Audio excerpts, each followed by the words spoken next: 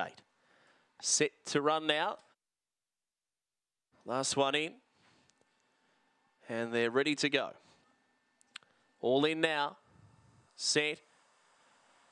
Racing.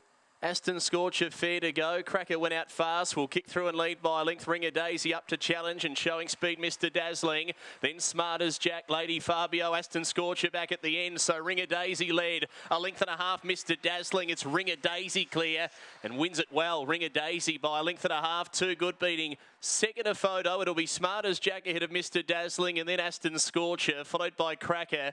Lady Fabio back at the end and the run 16 and 63.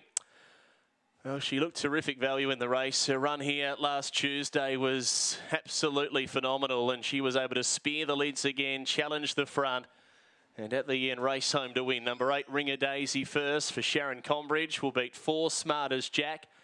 Number six, third, Mr. Dazzling, and fourth goes to the favourite Aston Scorcher.